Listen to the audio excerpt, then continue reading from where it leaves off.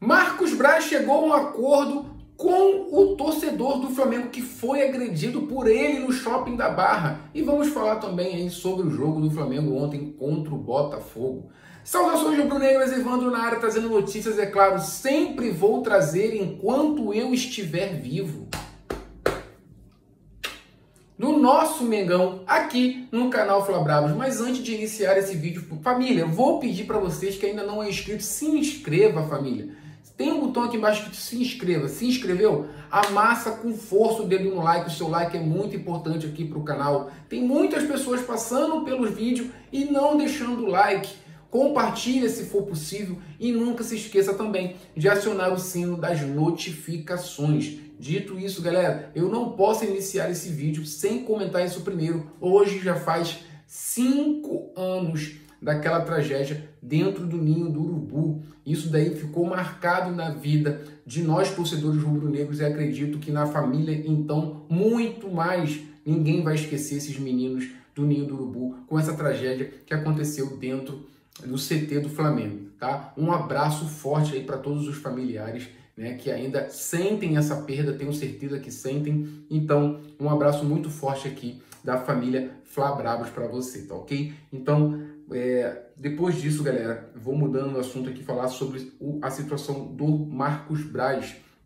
Marcos Braz, né, é, conseguiu resolver a sua vida ali com a parte de, administrativa, né, pessoal dentro do Flamengo, né, sobre sua situação é, que aconteceu com esse rapaz torcedor do Flamengo dentro do shopping da Barra e agora ele mesmo resolveu também tomar uma atitude resolver isso assim fora da justiça junto com o torcedor e Marcos Braz chegou a um acordo ali e vai pagar é, um, um valor ao, ao torcedor e o torcedor vai retirar a queixa do Marcos Braz. Marcos Braz pediu desculpa ao, ao torcedor rubro-negro e também chegou a um acordo ali financeiro né, a, ao torcedor para não, não dar mais sequência aí na justiça com o nome do Marcos Braz também envolvido na mídia sempre que acontecer qualquer coisa aí é, no tribunal. Então isso daí com certeza ia se estender por muito tempo.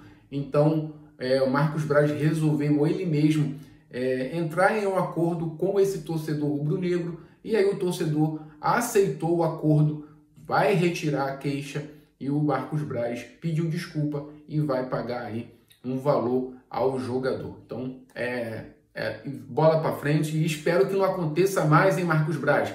Pelo amor de Deus, por vice-presidente do Flamengo, tá de sacanagem. Então, Mudando de assunto, aí deixando o Marcos Braz um pouquinho de lado, mas vou falar sobre ele depois.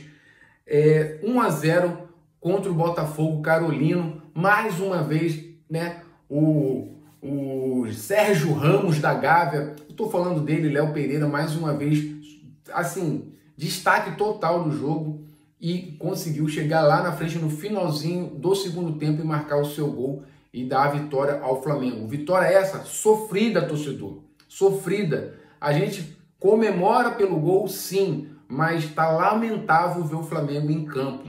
O meio de campo muito perdido, com o Gerson Dela Cruz e Arrascaeta. Eu não sei como é que está sendo o treinamento deles, mas o técnico Tite tem que avaliar essa situação. Meio de campo muito perdido, lateral. Eu nem vou comentar, nem vou chegar nesse assunto. Espero que o técnico Tite consiga colocar alguém que também faça um apoio, alguma cobertura à lateral direita, porque sozinho ele não está conseguindo dar conta, tá?